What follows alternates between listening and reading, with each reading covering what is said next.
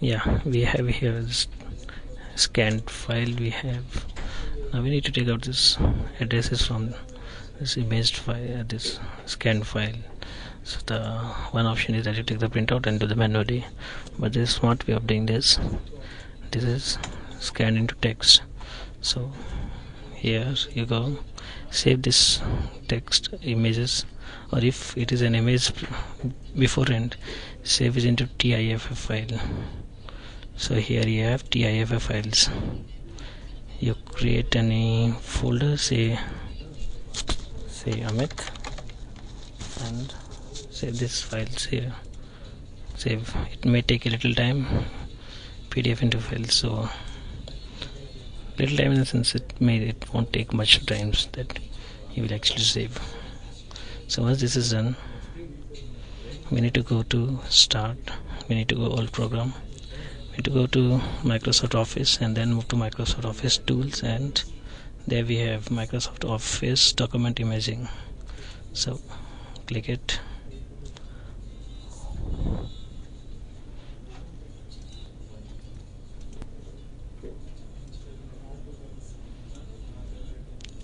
So this is done. Open. Desktop. We have Amit here. Click any of the, the page by page open this open and this file is here. So now we need to change this text file. Click here send text to word. Fine all pages. Since we have one page here we need we'll do one page okay. Microsoft nothing to do. Using OCR to recognize text and this will be done in a minute so done your file is now saved at your desktop or another is up here.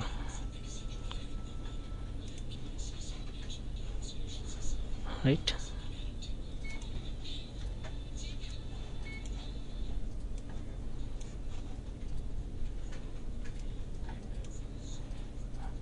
I'm doing this to sync fit into camera.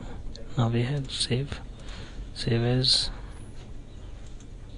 word doc let it be on desktop and see actually what what is the result. So close close close. No. Now we have this thing here. We'll open this and we'll see the images has actually converted into text. But one thing to note uh, one thing to take care is that doing this this translation or your conversion from images to text.